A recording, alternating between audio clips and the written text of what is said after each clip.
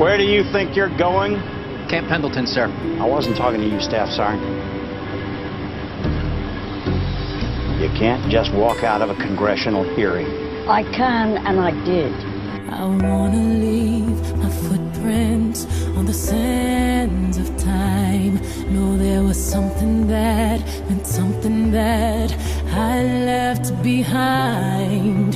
When I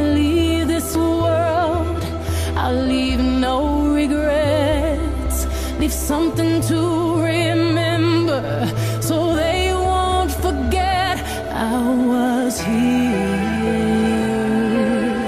I lived, I loved, I was here.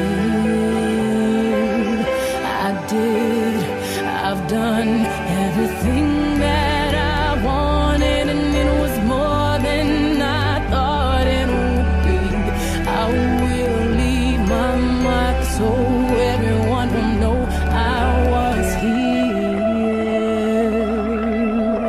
And if they want my job, I quit. I'm going home.